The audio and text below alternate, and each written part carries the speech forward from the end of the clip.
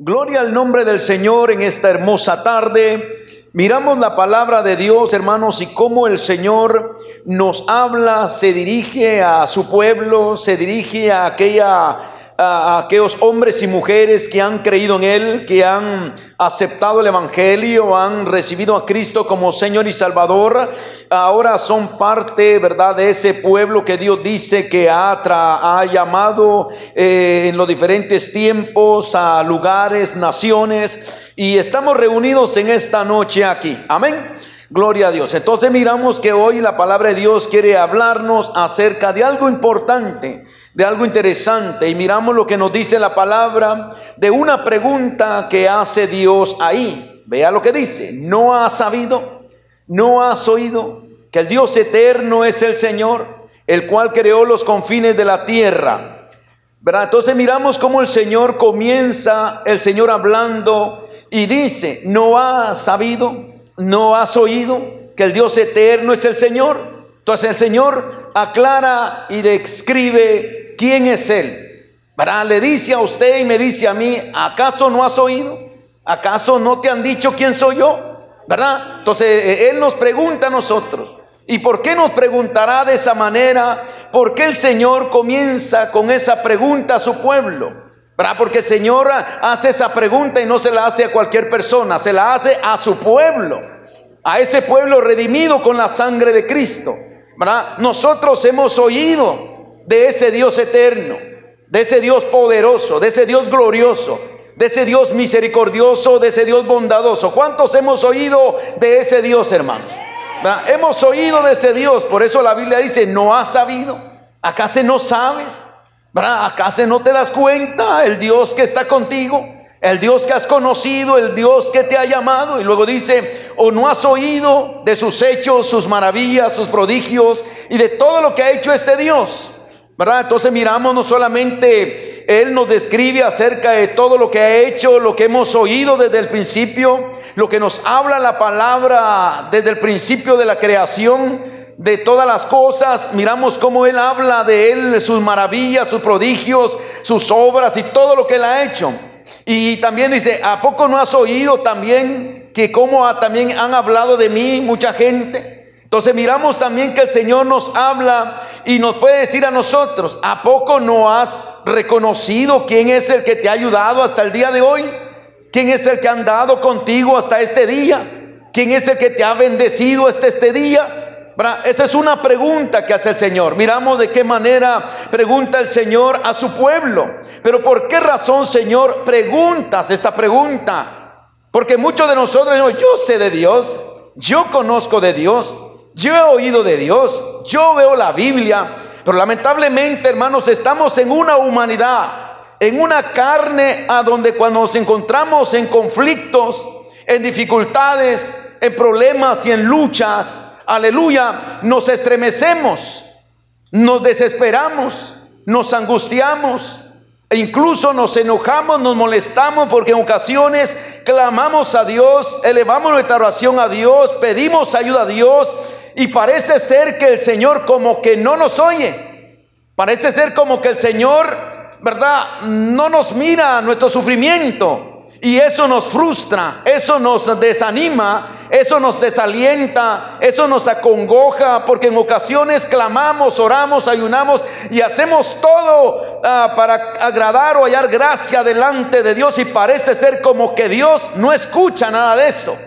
Y eso frustra, eso desespera, eso angustia, eso desanima muchas veces. Por eso mucha gente se ha desanimado en el camino. Porque el enemigo le ha metido la mentira de que clama a Dios, que busca a Dios y que no hay una respuesta ahí de tanta necesidad de la cual está pasando la persona. Pero por eso dice el Señor aquí, es que no has oído. O sea, debe haber una seguridad en ti, debe haber una confianza en ti de que aunque Dios no se mueva como tú quieres, el día que tú quieres, a la hora que tú quieres, debes de saber que Dios en verdaderamente está ahí.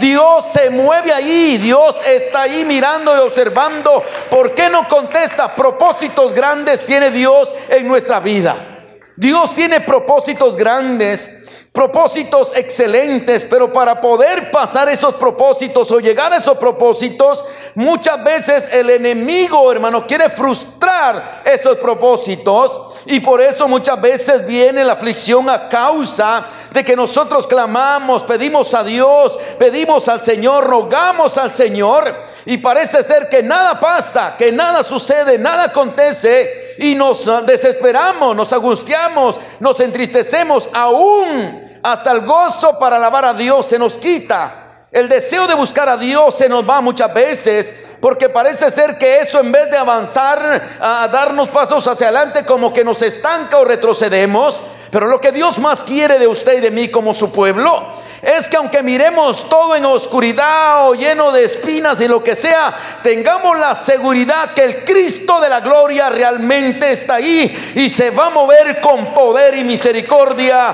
para la gloria de su nombre. Démosle palmas al Señor en esta hora. Entonces miramos que el Señor hace esa pregunta porque mira a su pueblo desconfiado, entristecido, como que anduviera en un lugar, como que no tuviera papá, como que no tuviera quien lo, quien lo ayudara, quien lo sacara adelante, quien le va a tender la mano, como que anduviera huérfano el pueblo. Debe saber usted que si Dios lo llamó, y la Biblia dice que aunque aquella madre se olvidara del que dio a luz, yo jamás me olvidaré de ti, dice el Señor. Yo te llevo esculpido en mis manos, dice el Señor. O sea que ese Dios poderoso está ahí, mis hermanos. Amén. Amén o no, amén, hermanos. Entonces miramos que la palabra del Señor hoy nos habla que ese socorro, ese auxilio va a llegar. Tarde o temprano llegará. Llegará, hermanos, aquello que necesitamos, aquello que deseamos, pero lamentablemente ya cuando llega, ya hemos claudicado en muchas áreas de nuestra vida. Ya hemos claudicado en, pensar, en desear, en, eh, en sentir cosas que son desagradables a Dios. Pero cuando tú y yo tenemos la seguridad y la confianza que Dios está ahí, aleluya, que Dios se va a mover, que Dios va a hacer esa obra, que Dios va a trabajar, que Dios se está moviendo, que Dios está trabajando, aleluya, nadie te podrá hacer pensar de otra manera, nadie te va a poder hacer sentir de otra manera, porque sabes que tu Dios es real, es verdadero y que se mueve con poder y misericordia. Aleluya. Démosle palmas al Señor con todo el corazón. Por eso es que el Señor no quiere que a usted se le olvide lo que usted ha oído de Él y de lo que le han contado de Él. Si estamos aquí, hermanos. El problema es cuando se nos olvida lo que hemos oído de Él, lo que nos han dicho de Él, y cuando se nos olvida, tendemos a pararnos en un lugar a donde se nos olvida sus obras, sus maravillas, aún no solo lo que hizo en el Antiguo Testamento, sino lo que ha hecho en nuestra vida hoy. Porque Dios ha hecho grandes maravillas en nuestra vida, mis hermanos. Y si usted y yo hoy estamos aquí, es porque Él está aquí, aleluya. Porque Él se ha movido poderosamente en la vida de cada uno de nosotros. ¿Es así o no es así, hermanos? O sea que la mano del Señor es la que nos tiene hoy aquí. No es usted está aquí. Es Dios el que lo tiene hoy aquí. Porque su misericordia lo ha guardado, lo ha protegido, lo ha llevado de poder en poder y de victoria en victoria. Aunque usted ya pensaba tirar la toalla, colgar los tenis, Dios no lo dejó y hoy lo tiene aquí para la gloria de su nombre. Démosle palmas al Rey con todo el corazón. Gloria al nombre del Señor.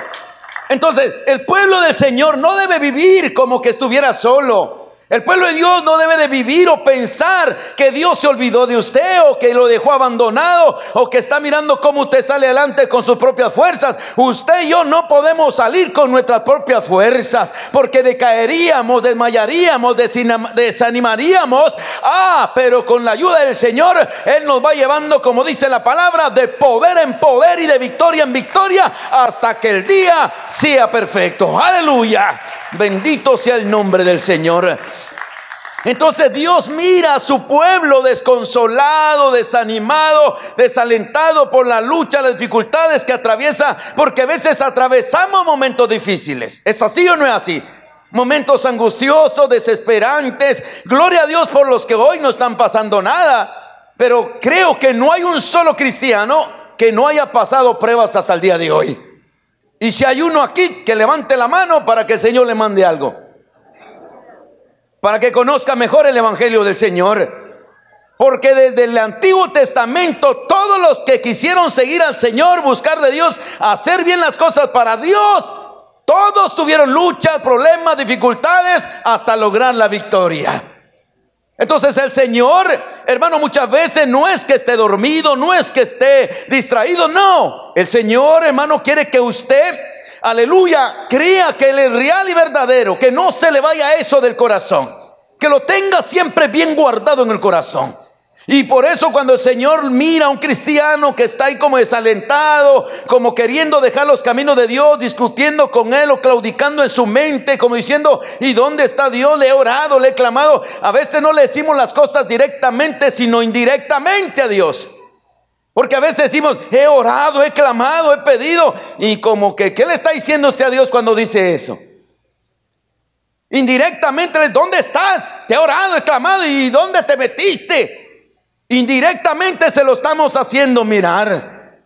Sin darnos cuenta, nosotros a veces pensamos que estamos orando bonito y bien, bien agradable a Dios, diciendo, Señor, te he orado, te he clamado, te he pedido, como diciendo, ahora pues, responde, ¿dónde estás? ¿Dónde te metiste? Entonces lo importante es que usted y yo tenemos que orar sabiendo lo que dice la palabra. ¿No has oído? ¿No te han dicho que el Dios eterno es el Señor? Allá está Él, Él está ahí. Él es Dios sobre todas las cosas. Incluso podemos ver hombres en el Antiguo Testamento que clamaron a Dios, pidieron a Dios ayuda y la ayuda no les llegaba. No les llegaba la ayuda y aún pasaron momentos críticos, desesperantes, angustiosos, pero la ayuda llegó en el momento que Dios dijo que llegara la ayuda. Y salieron victoriosos esos hombres.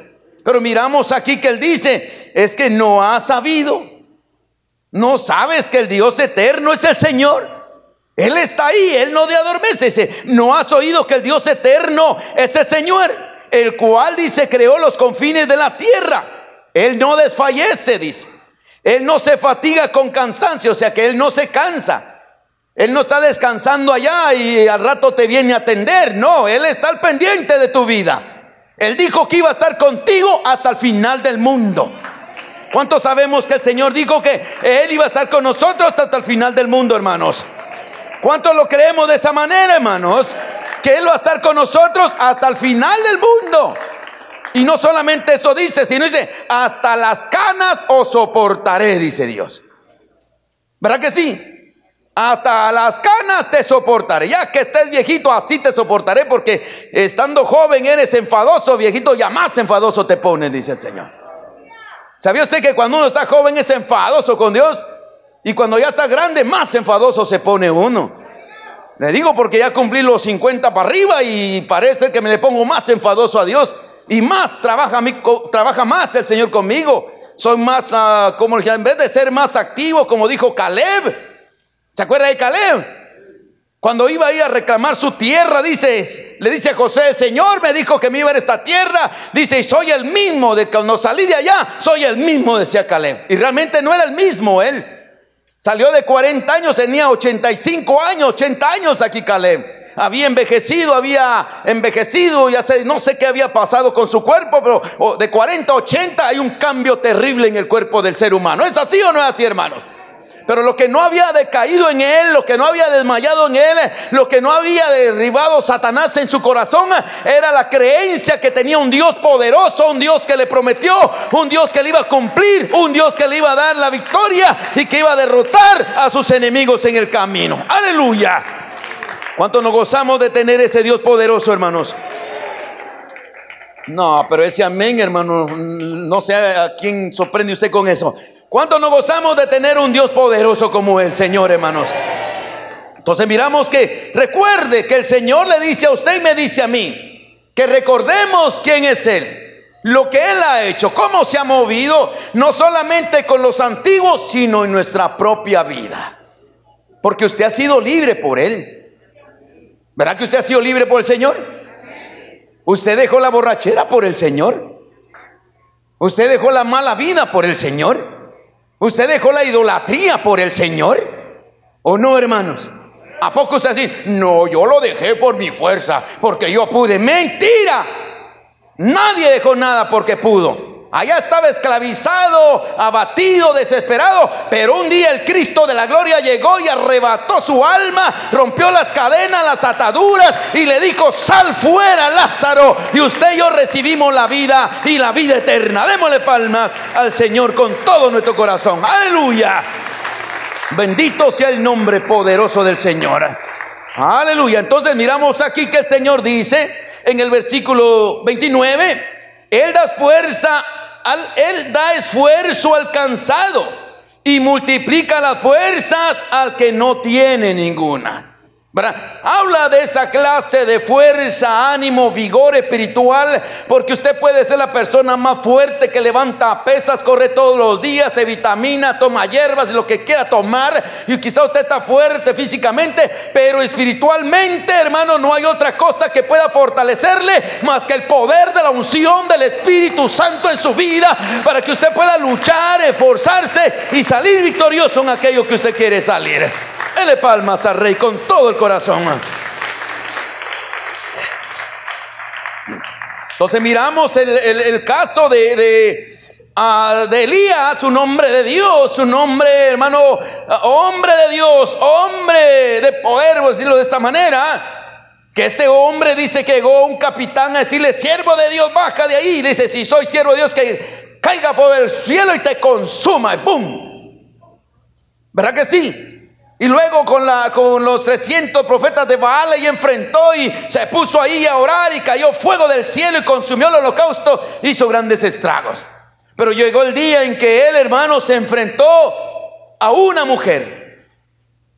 Una mujer. Había tenido una victoria, dos victorias, tres victorias, varias victorias. Y una mujer llegó con una amenaza a su vida. Y le dijo, Así me hagan los dioses si mañana yo no tengo la vida de Elías igual que estos otros. ¿Y qué hizo Elías, hermana? ¿Usted cree que Elías sea chaparrito como yo o era alto? ¿Cómo se imagina usted Elías? ¿Chiquitito, chaparrito o grandote, fortachón? Conforme a lo que veo en la palabra del Señor en el Antiguo Testamento, elegía hombres altos, hermano, fuertes, robustos.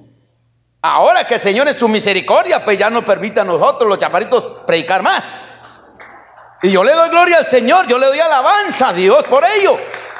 Si estamos aquí, hermanos, si usted lee la Biblia en el Antiguo Testamento, no cualquier cosa, no cualquier hombre llamaba a Dios a su servicio. Entonces quiere decir que Elías era un hombre fuerte, pero una mujer lo sacó corriendo de allá. Y allá estaba escondido debajo de un enebro, dice. Imagínese usted, el hombre grande, por digo que aunque usted se tome vitaminas, esto no es un anuncio, esas vitaminas del Salvador, de Guatemala, que usted va hasta Centroamérica a traerlas, va a Tijuana, no sé a dónde va, porque se quiere sentir fuerte, aleluya. Pero cuando viene una guerra espiritual a su vida, cualquier hombre que se sienta fuerte en esta tierra va a caer si no tiene el poder y la unción del Espíritu de Dios en su vida, aleluya, para enfrentar los retos del camino del Señor. Démosle palmas al Dios de la gloria, aleluya. Entonces miramos que el Señor dice, Él da, él da, él da esfuerzo, dice, alcanzado y multiplica las fuerzas al que no tiene ninguna. O sea que usted viene aquí, aunque los problemas y las luchas, porque es que puede cantarle a Dios. Porque si ha pasado esto y aquello y viene, alabaré, alabaré, ¿por qué lo hace?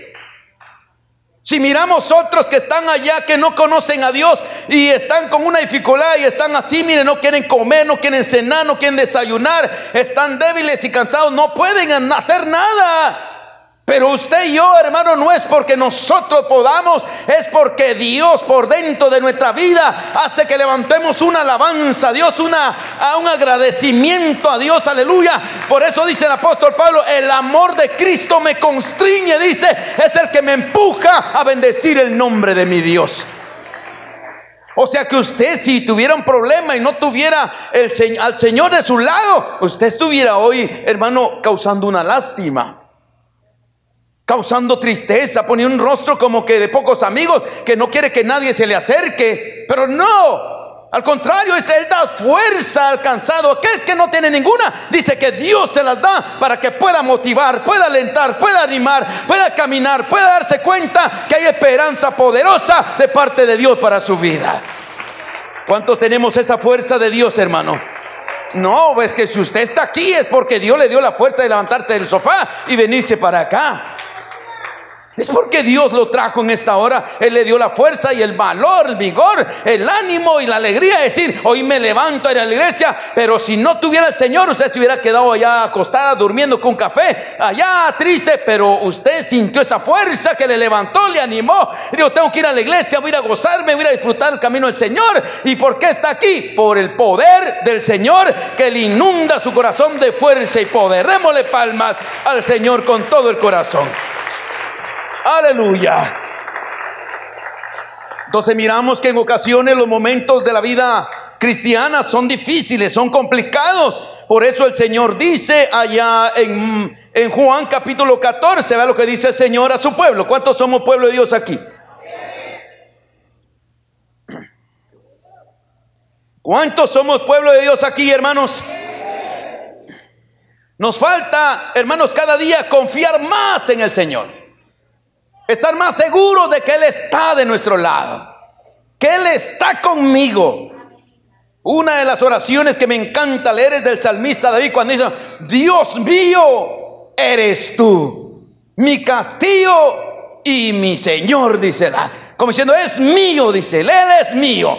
No sé si es suyo, pero mío sí es, dice el salmista. Ah, Señor, eso es tener seguridad.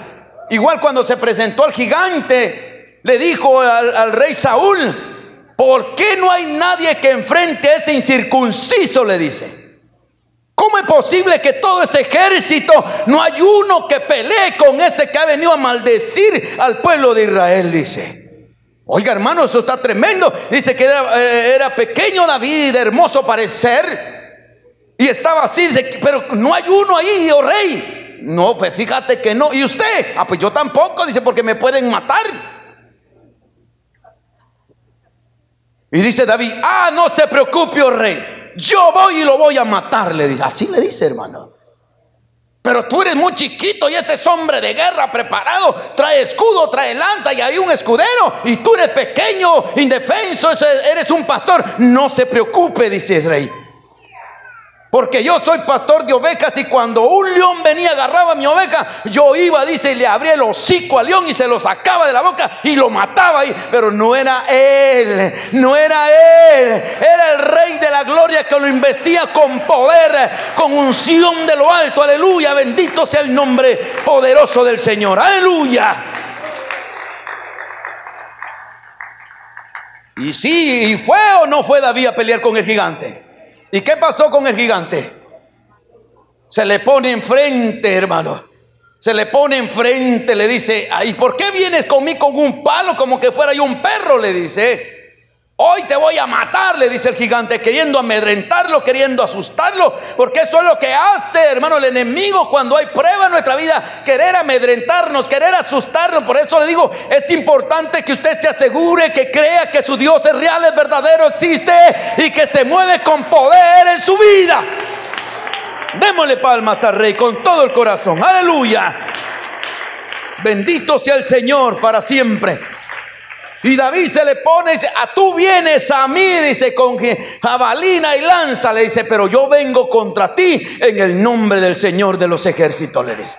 Vea cómo dice, yo no vengo en mi fuerza ni mi capacidad, vengo en el nombre del Señor Jesucristo.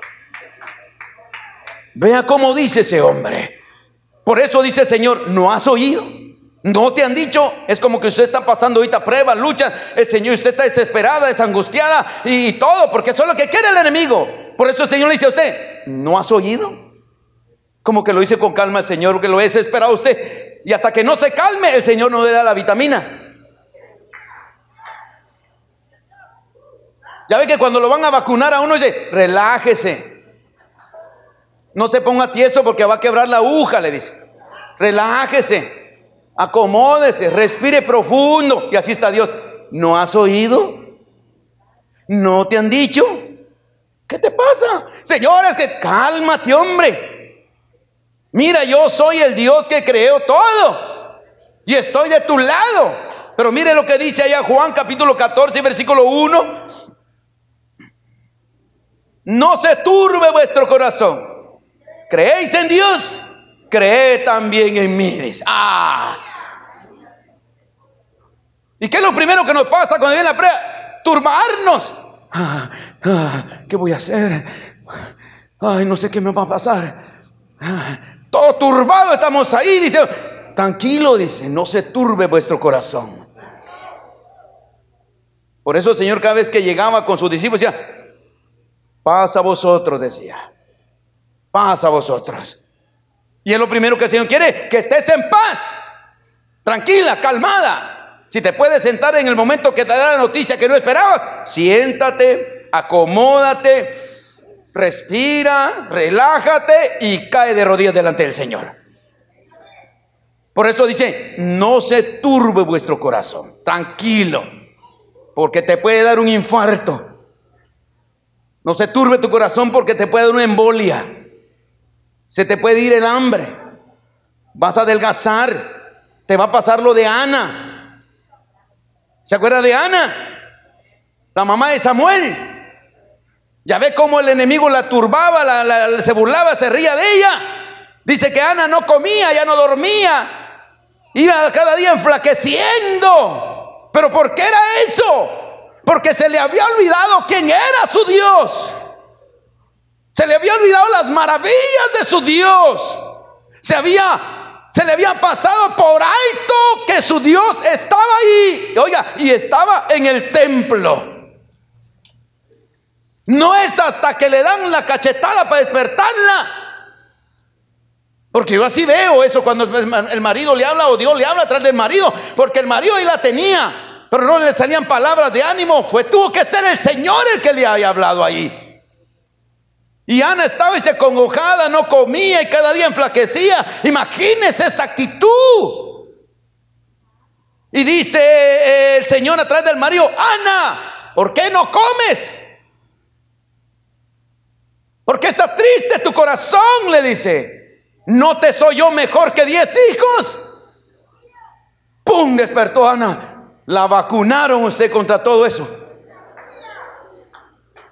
Porque es como una vacuna que recibió. Ah, dijo Ana. Y ya no estuvo triste más, dice. Y se fue al altar y todavía esperaba el último toque para ver si le, tocaban donde menos esperaba. El pastor estaba ahí mirando y la vio y la miró. Ana, ya dijere tu vino, eres una borracha, le dice. Vea que si le dice el hombre de Dios ahí. Para que vea que este el hombre se, se, equivoca. Incluso va a haber oportunidades donde usted espera de los hermanos ánimo, abrazo, un beso. En vez de eso le dan una patada, un aruñón y hasta un golpe en el estómago. Hablando espiritualmente. Usted necesita un abrazo, un consuelo. Ah, ya hermana, hombre. Y usted siente eso como que le cayó una piedra en la cabeza. Siente como que le cayó un balde de agua fría porque usted esperaba de la hermana un abrazo, un beso, menos esas palabras. Pero usted tiene que estar preparada para todo. Saber que su Dios es el que le va a dar consuelo, le va a dar paz, le va a dar seguridad a su vida. Dele palmas al rey con todo el corazón. Aleluya.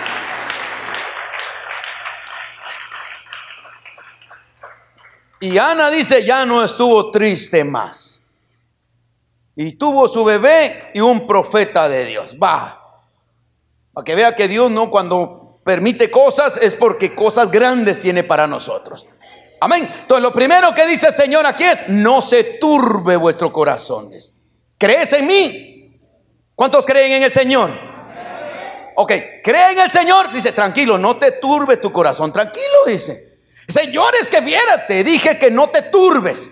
Mira que te, no te turbes. Y así te va a tener Señor hasta que te calmes. Es que no te turbes. Es que no te turbes no te turbes hasta que tranquilita, tranquilito. Y Te hace respirar, te hace tranquilizarte el Señor. Ah, ya lo te como que te sale ahí adentro. Bueno, el Señor dirá lo que va a hacer, dice no. El Señor tiene la respuesta. El Señor me vaya, pero no eres tú. Es el Espíritu de Dios que te está haciendo hablar porque hace un ratito atrás estabas hablando lo que no conocías, lo que no entendías. No es hasta que el Espíritu de Dios te ilumina, te fortalece y te hace hablar palabras de bendición, palabras de victoria, palabras de motivación a tu propia vida. Aleluya. Démosle palmas al Rey con todo el corazón en esta mañana, esta noche. Aleluya. Entonces miramos que la palabra del Señor nos dice, no se turbe vuestro corazón. ¿Por qué? Porque vea lo que dice allá en Romanos 8:35. Y esto ya lo conoce usted, pero ¿cómo se le olvida? Se está agarrando de todo lo que tiene, menos de la misericordia de Dios. Se agarra del marido, se agarra de aquí, se agarra de allá y termina frustrado. No es hasta que se agarre de la mano del Señor para que no se ha turbado su corazón. Ya lo tenemos. Romanos 8:35. Vea lo que dice. ¿Quién nos separará del amor de Cristo? Tribulación o angustia o persecución o hambre o desnudez o peligro o espada. O como está escrito, por, es, por causa de ti somos muertos todo el tiempo. Somos contados como ovejas de matadero. Antes, en todas estas cosas, somos más que vencedores por medio de aquel que nos amó. Por lo cual estoy seguro de que ni la muerte, ni la vida, ni ángeles, ni principados, ni potestades, ni lo presente, ni lo porvenir, ni lo alto, ni lo profundo, ni ninguna otra cosa creada nos podrá separar del amor de Dios que es en Cristo Jesús, Señor nuestro, dice. Estamos mirando lo que dice la palabra de Dios. O sea que cuando se nos turba el corazón, porque se levantan contra nosotros huestes espirituales de maldad, cosas horribles, se nos vienen sueños, visiones raras, no podemos dormir, pero porque no puede dormir si el Señor le dice, no se turbe tu corazón. Hay gente que cuando está en problemas, hasta cosas raras mira en el camino, cosas extrañas mira en el cuarto. Yo lo que veo en el cuarto cuando pasé todo lo que pasé, miraba la gloria de Dios usted. Así como aquel hombre que apedrearon el primer mártir de la iglesia cristiana, Esteban. ¿Se acuerda usted de Esteban? Cuando lo estaban apedreando. Él no decía, veo al diablo, veo esta cosa, veo una sombra negra, veo un gato. No, él no decía eso. ¿Verdad que no decía así? Ay, es que siento que me agarran, siento que me amarran, siento que me están asustando. Él no decía eso. Cuando más lo estaban apedreando a punto de morir, él decía, veo la gloria de Dios y al Hijo del Hombre sentado allá, dice, ahí está, bendito, adorado sea su nombre de la eternidad hasta la eternidad. Démosle palmas al Rey con todo el corazón. Tenga mucho cuidado porque a usted, a usted o a mí no puede pasar que aunque ya recibimos a Cristo, ya hemos mirado a Cristo cómo actúa, podemos caminar con Él sin conocerlo bien. Sin entenderlo, fíjese. ¿Se acuerda usted los que iban a Emaús? Y esos están más tremendos todavía. Porque iban hablando del acontecimiento de la muerte del Señor y todo. Y ahí iban esos. Y el Señor dice que se les pega en el camino. Oiga usted, y no lo podían reconocer. Imagínese, usted va un día en el camino allá y de repente el hermano Santiago se le pega y usted lo mira. ¿Y tú cómo te llamas? ¿De dónde eres?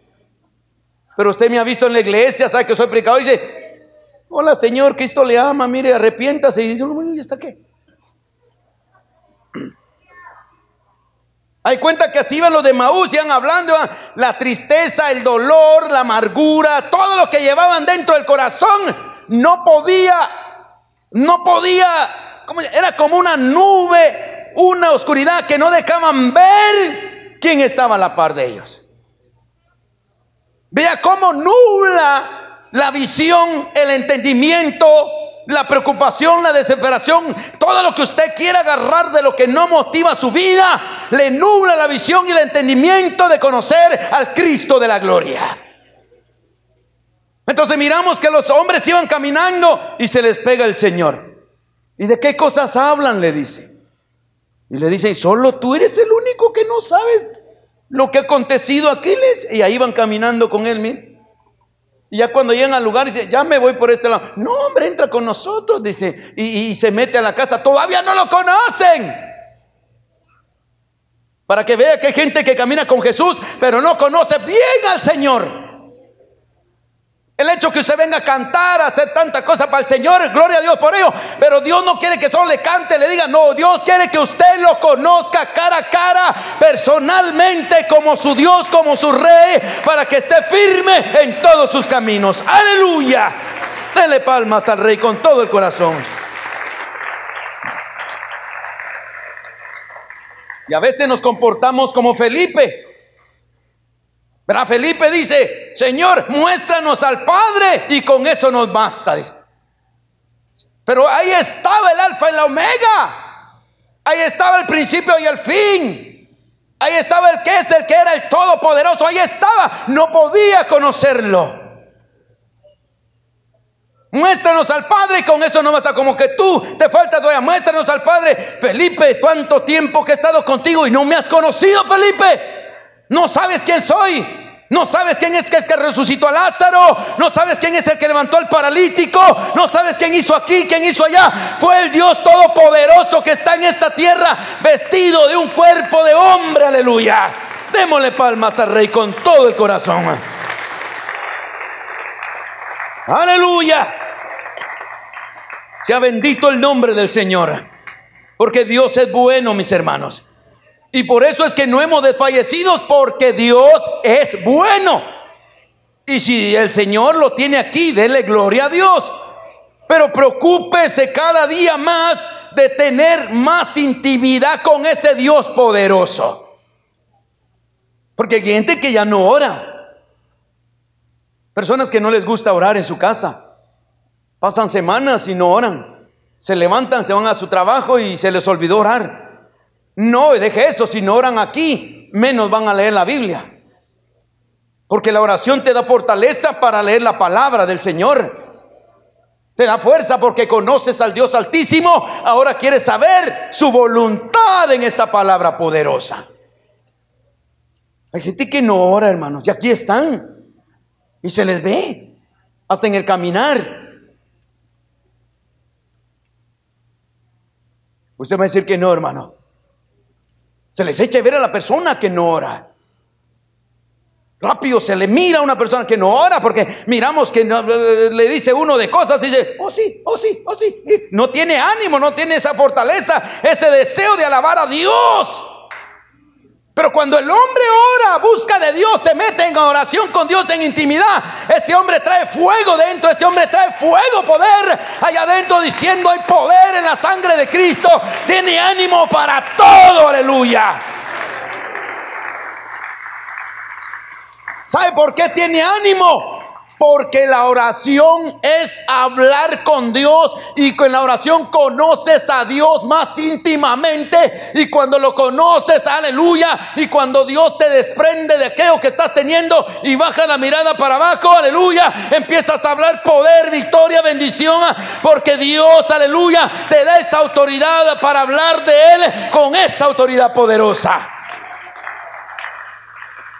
Ah, pero el que no ora, en todo batalla. Siempre anda más o menos. ¿Ha visto los cristianos que dicen, ¿cómo anda, hermano? Ay, por ahí, hermano. Más o menos, dice. ¿Y sabe qué significa más o menos? Que estás tibio. ¿O cómo le llamará a usted a alguien que le diga más o menos? Porque el Señor dice, o eres frío o eres caliente. Pero más o menos no te quiero.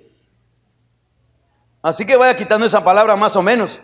O está mundano o está cristiano. ¿Es así o no es así, hermanos? ¿Cómo va, hermano? Más o menos. No. Y si le cuesta cantar victoria ahí cuando esté pasando problemas, dificultad, váyase al libro de los hechos. Y mire a Esteban. Apedreado, hermano. Apedreado. Pero piedras literales. ¡Bum! Y él nomás decía, ah, pero vea, lo importante es que la oración te anestesia para las cosas malas. Por eso Esteban no sentía la pedras. Por eso yo no veo que diga, y Esteban gritaba de dolor. Esteban gemía de dolor. Esteban decía, ah, ya no le sigan. No, él no se queda, ahí estaba, ¡ay, gloria a Dios! ¡Ay, aleluya! ¡Santo! ¡Cristo vive! Decía él. Y más lo más se enfurecía la gente. ¿Por qué se enfurecía la gente? Porque alababa a Dios. Porque bendecía a Dios.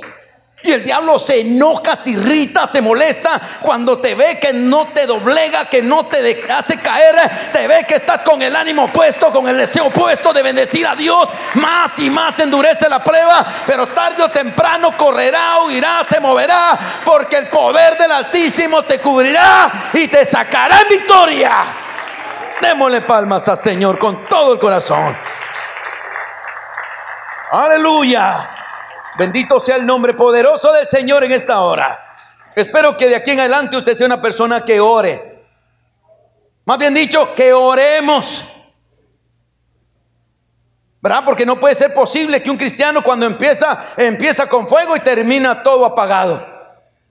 Hay cristianos que tienen años y en vez de estar más fogosos, más apagados se ven en los años que han pasado. No tienen ganas de cantar. Antes venían más días a la iglesia, hoy ya casi ni vienen. Antes no ponían excusa para buscar de Dios, ahora ponen un montón de excusas y pretextos para buscar de Dios. Ay, que tengo esto, que una diligencia, que esto más. Antes no, antes decía, ah, tengo este problemita, esta, esta necesidad, pero la voy a hacer al rato, me voy a levantar más temprano para realizarla, pero no voy a faltar a buscar de Dios, decía. ¿Verdad que sí? Así decíamos, vamos a hacerla a un ladito. Este, ah, es que tenía que llevar a mi esposita a comer. Eh, el restaurante lo cierran a las nueve, pero como mañana, pues no hay, no, hay, servicio, voy a aprovechar mañana. Le voy a decir a mi esposita, y como es bien cristiana, eh, bien espiritual, me va a decir, Amén, mi amor, Amén, Amén. Ah, pero vamos a ver esa mujer ahí. Ya veo las caras de las mujeres cuando no se les cumple lo que quieren. Porque ya estoy casado, hermano. No le cumple usted a la dama como le pidió y olvídese. Con solo la mirada dice todo lo que te quiere decir. Igual el hombre, el hombre es igual también. Pero verdad que antes no poníamos excusas, hacíamos un lado las cositas o procurábamos hacerlas con tal de buscar de Dios. Pero ahora no, ahora somos llenos de excusas, de pretextos, de aquí, de allá, más allá, con tal de no venir a la iglesia. Con tal de no venir a buscar a Dios, ponemos de toda clase de cosas, con tal de no estar ahí. Y si nos preguntan, hermano, ayer no lo vi en la iglesia, ellos alzan la voz como grandes espirituales. Oh, hermano, es que viera que tuve mucho que hacer, tuve algo que hacer tremendo y era que me quedó el tiempo reducido. Y antes no, antes hacía problema, eran como las 7:15. Decía, todavía están las alabanzas, pero todavía alcanzo la predicación. Decía, no, ahora no, ahora termina a las 6, tiene tiempo para arreglarse y venir. No, ya es tarde, dice. Y aquí están esos, aquí están. Y si hay un predicador que dice que están en otro mundo, que se arrepiente ese predicador. Que se arrepienta porque estamos predicando a un pueblo que está en la tierra y que está procurando ir de poder en poder hasta que el día sea claro. Démosle palmas al Señor con todo el corazón. Aleluya. ¿Quiere tener victoria hasta el final de su jornada? ¿Cuántos queremos tener victoria hasta que terminemos la carrera? Dios mío, le digo que nos falta orar, hermanos. Porque el que ora tiene el amén hasta ya saliendo. Va diciendo amén hasta los impíos. Le dice, hermano, gloria a Dius. ¿Hay, cristianos han visto usted así? Cuando practican con los impíos. Oh, hermano, dice, ay, ay, y los, los impíos se le quedan viendo como diciendo, eh, ¿cómo dijiste? No, disculpa, hermano, es que pues no sé por qué se me salió, pero eres hermano, pues va, por fe, le dice uno. O sea, la persona que ora tiene unción de parte de Dios. Tiene libertad. Dios lo unge con poder a la persona que ora, a la persona que se mete con Dios. No tiene miedo a nada ni a la muerte. ¿Por qué? Porque la unción de Dios está sobre esa persona. La unción de Dios lo tiene fuerte, lo tiene robusto, lo tiene victorioso para la gloria del Señor. Aleluya. Bendito sea el nombre del Señor. Hermano precioso, pero si queremos tener victoria, a ver, este, um, a ver, una vez más, no lo voy a ver pues. ¿Cuántos quieren tener victoria hasta el final de su carrera? Ajá, ya salió la oración por ahí. ¿Verdad? Porque la oración, hermano, te da libertad. Hermano, yo le invito a usted que no ora, que por lo menos, mire, ah, no quiero ser miserable con usted y decirle, ore aunque sea 10 minutos, eso ser miserable con usted. Eso ser agarrado con usted. Porque el Señor le dice, a sus discípulos, no pudieron orar conmigo ni siquiera una hora. No les dijo, no pudieron orar conmigo ni siquiera 10 minutos, 20 minutos. No, dice, una hora por lo menos, hombre. Entonces lo que dice, yo le invito a usted a que por lo menos una hora diaria. Pídale a Dios que lo despierte. Aunque usted dice, me cuesta, Señor, me cuesta. Dígale a Dios que lo despierte, Él sabe cómo despertarlo. Van a hacer temblar la tierra con tal que usted ore, fíjese. ¿No ve los cristianos que no oraban hace unos días tembló y todos de rodillas ahí todos nosotros, ¿verdad? Padre celestial, cúbreme con tu sangre, me guardo, protégeme. Ah, ¿verdad que ahí estamos todos de rodillas? Dios tiene cómo hacer para que usted ore. Nomás pídaselo. Porque como usted no quiere hacerlo voluntariamente, pues pídaselo a Él. Y dice el Señor, ¿verdad? Como al hermano Santiago le pidió un día, Señor, mírame, estoy muy aragán, estoy bien perezoso, le decía, y, eh, me cuesta orar, pero ayúdame, Señor, por favor, ayúdame a orar. Quiero entrar en la oración cada día más. Y yo pensé que el Señor iba a ir a la cama y decirme, Chaguito, good morning. Porque Dios habla inglés también. Good morning. Pensé que me iba a hacer en los piecitos así. Él llegó a la cama y se sentó y ya es hora de levantarse. Digo, voy a hablar con usted, véngase. Ay, Señor. Y ese tiempo había frío. Dios mío, ahorita, Señor, pero siento los pies fríos. Le digo, ¿quieres que me levante? Ahí está uno peleando con él, hermano. Uno discutiendo con él, discutiendo. Cuando Dios quiere mostrarle su poder, quiere hacer algo con su vida, a veces nos perdemos grandes bendiciones por, ¿cómo? Por araganes. Ay, hermano, tan feo que me dijo, por perezosos. Nos perdemos grandes bendiciones. ¿Quiere algo más fuerte? No, no, no, no, ya, ya, ya, está bien, ahí lo dejamos pues. Porque Dios quiere hablar con nosotros, pero esa pesadez que tenemos muchas veces, que la hemos agarrado por causa de quitar nosotros esa, ¿cómo se llama? Esa, esa responsabilidad, esa bendición, esa costumbre de orar, se nos ha adormecido la oración. Y yo estaba ahí orando, le decía, Señor, y, ya como que dijo, ¿se acuerda usted de cantar, verdad? Y el Señor como se fue un ratito, se fue de allí y me quedé bien dormido, hermano. Dije, el Señor ya me dio permiso para dormir, dije, ¿verdad? Y está bien dormido. Mire, hermano, yo no sé, ¿verdad? Pero como no quise hacerle caso a él, me mandó una cucaracha, así, mire. No sé ni cómo se metió a la casa, al cuarto, y cuando estaba dormido así, solo miré que caminaba y se metió aquí. Eh, eh, eh, tiré la cobija y Dios mío, ay Señor, aleluya, gloria a Dios. Y miren, no será un alacrán, una tarántula. Encendí la luz y pum. Era una cucaracha así de ese tamaño, mire, de dónde salió no sé, y aplastarla iba. Y dice, Señor, párate. ¿Por qué la vas a matar? Me dijo. No vine yo a despertarte y no quisiste. Me dijiste que despertara, no quisiste. Pues mandé a mi animalito a ver si entiendes como Balán, me dijo. Hermano precioso, Dios tiene medios para que usted y yo los activemos a buscarle, aleluya, a las buenas o a las bien buenas. Démosle palmas al rey con todo el corazón.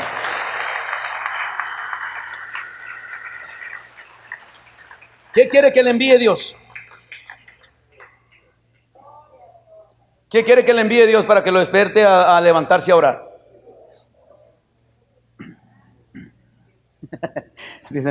no, una culebra ahí. Una tarántula. Mire, yo le dije, gracias, mejor Señor, está bien la, la cucaracha, porque no quiero una enfermedad. No quiero una dolencia en mi cuerpo, Señor. No quiero algo contra mi familia. Mejor la cucaracha. Ya entendí. Ahora voy a orar, Señor. Pero está libre mi salud, mi, seguridad, mi economía, mi familia. No fue tocada mi familia para yo aprender a orar. Porque como el hombre ora, ¿cuándo se mete en oración el hombre? Cuando las cosas se le vienen pesadas. Ahí está el hombre, Padre Celestial, como Jonás, ¿verdad? Cuando estaba en el vientre del pez, levanté mi clamor y él me escuchó. Qué oración más poderosa, ¿verdad? Y así está el cristiano. Pero cuando no tiene nada, ni se acuerda que hay Dios para hablar con él. ¿Qué quiere que le envíe Dios? O permita Dios, pues. Usted decide. Así que de hoy en adelante a motivar nuestro corazón, amén. Hablar con el Señor. Tómese su tiempo, dígale, Señor, aquí estoy. Aquí vengo a postrarme, Señor. No sé si voy a aguantar una hora, pero voy a hacer la lucha. Voy a hacer el esfuerzo, Señor. Voy a hacer el esfuerzo, voy a hacer la lucha de al menos de quitarme la pereza, empezar una vez más, Señor. Activar la oración en mi vida, Señor. Y le aseguro que usted ya no va a ser el mismo como lo veo, lo veo yo ahora. Porque así como lo veo, no lo creo. Mateo capítulo 16 y versículo 13. De aquí depende toda la victoria que usted desea en el transcurso de su final y de su jornada. Amén. Con este terminamos en esta hermosa tarde para irnos a casita a leer la Biblia Espérese para ver el partido de México, después lo mira, después de orar. Porque muchos no vinieron por el partido.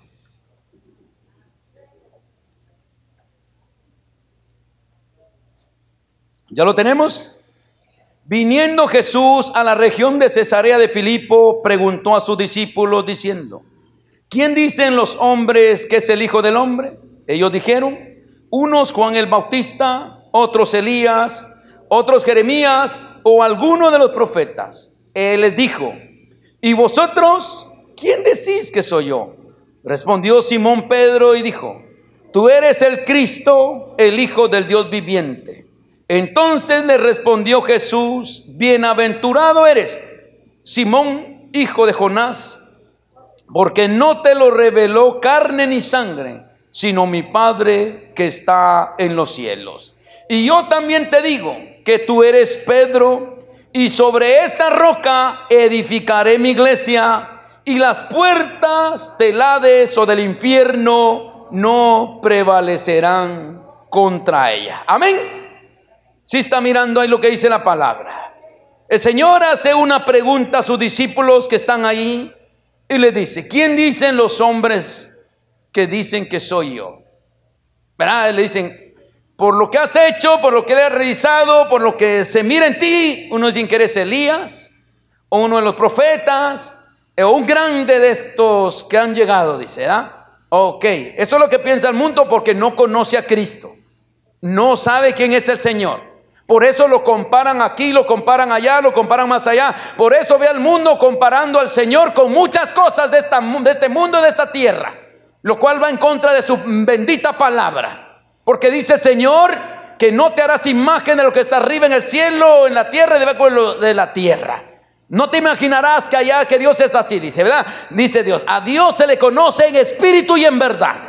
Por eso el mundo compara, está como esta escritura, el mundo compara al Señor como dice aquí. Piensan que es aquel, piensan que es este, piensan que es más allá, que es aquel otro, que es el que está allá. Dice, ese es el Señor, dice. Está bien, dice sí. Ellos tienen razón porque no tienen el entendimiento, están cegados por el enemigo, como dice la palabra, pero ahora ustedes que me han visto, dice el Señor, ustedes que han visto lo que yo he hecho delante de sus ojos, ustedes que han experimentado cómo yo los he liberado, dice. Ustedes me van a decir hoy quién soy yo. Porque ustedes van a quedarse en la tierra como mis testigos de quién soy yo. Por eso le está diciendo él. ¿Quién dicen los hombres que soy yo? Ahora díganme ustedes quién soy yo. Y todos se quedaron a la expectativa. Pues ¿quién será? Porque para conocer a Cristo no se necesita la carne, tiene que ser una revelación. Por eso es importante que usted venga a los estudios de la palabra de Dios. Para que la palabra le enseñe a usted quién es Jesús. Para que no tenga usted tres, porque no son tres, es uno. Amén. Amén o no amén, hermanos. Es un solo Dios y la vida eterna. Y le dice Pedro, tú eres, ¿cómo le dice Pedro? Tú eres el Cristo, le dice, ¿verdad? Dice, respondiendo Simón Pedro dijo, tú eres el Cristo, el ungido, el Hijo del Dios viviente. Vea, esa revelación, la puerta que le abre para las victorias. El pleno entendimiento, conocimiento de quién es el Señor le abre puertas de autoridad, de poder y de bendición. Si está mirando ahí después que Pedro declara eso. Después de que Pedro dice esa frase, vea lo que le dice el Señor. Entonces le respondió Jesús, bienaventurado eres, Simón hijo de Jonás, porque no te lo reveló carne ni sangre, sino mi Padre que está en los cielos. Oiga bien, y yo también te digo que tú eres Pedro, y sobre esta roca edificaré mi iglesia, y las puertas del Hades o del infierno no prevalecerán contra ella. No está hablando que Pedro va a ser, está diciendo sobre lo que Dios le reveló de quién era Jesús. ¿De quién es Jesús? Que las puertas del infierno no van a poder contra el nombre de Jesús, porque Jesús es sobre todo nombre. Aleluya, en ese nombre se doblará toda rodilla de lo que hay en el cielo, en la tierra y debajo de la tierra, dice la palabra.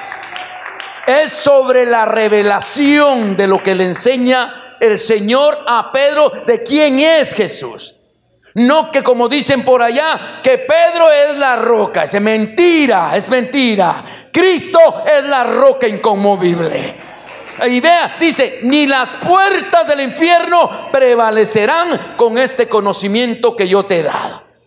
Si tienes este conocimiento, esta revelación y la guardas, la tesoras, la vives, la aprecias, ni las puertas del infierno van a poder doblegarte en esta tierra. Vas a poder salir victorioso, vas a levantar bandera, vas a andar allá, vas a andar aquí, aleluya, dándole gloria y alabanza al Rey de Reyes y Señor de Señores. Démosle palmas al Señor en esta hora. Así que mis amados hermanos, tenemos que esforzarnos para tener más intimidad con el Señor. La intimidad es importante. No puede haber un cristiano y que pase una semana sin haber orado ni siquiera una hora en toda la semana. Eso es una pena, una... ¿Cómo le podría llamar a un cristiano que, que, que, sabe que tiene que orar y no lo hace? Es triste, lamentable, es fatal porque si no ora, su vida va a ir decayendo. Porque la oración es la que te levanta en todas las áreas de tu vida espiritualmente. Si quieres tener una victoria allá, primero tienes que tener la victoria aquí en la intimidad con Dios. Amén o no amén, hermanos. Por eso el Señor dice allá donde empezamos, no te han dicho que el Dios eterno es el Señor. Él da fuerzas al cansado pero ¿cómo te da fuerzas? En el conocimiento de quién es el Señor en tu vida. Cuando tú lo tienes, tú te levantas como gigante, como guerrero del Evangelio. Amén o no amén, hermanos. Así que vamos a procurar cada día buscar de Dios en la oración. Si usted quizá no viene los martes porque no sé por qué, pues en casita, esfuércese de tomar tiempo para orar y hablar con Dios. Y luego, tome tiempo para comer de este libro santo, que para eso se lo dieron. Esto no se lo dieron para que lo pudiera en el sofá, para que lo en una mesa como de adorno, y que piense que el diablo lo va a llegar y que le va a ver la Biblia y va a huir.